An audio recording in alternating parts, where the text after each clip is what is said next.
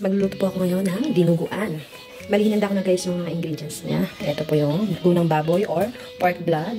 Baboy, siling mahaba, bawang sibuyas, saka yung bituka ng baboy. Kaya, simulan na natin guys. Tara, samahan niyo ako magluto.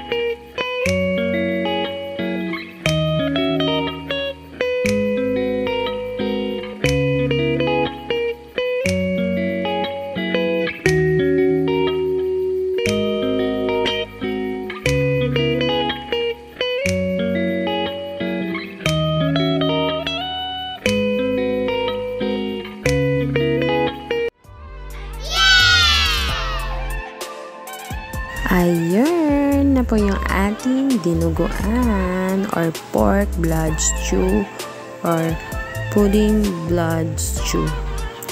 Alright! Thanks for watching guys!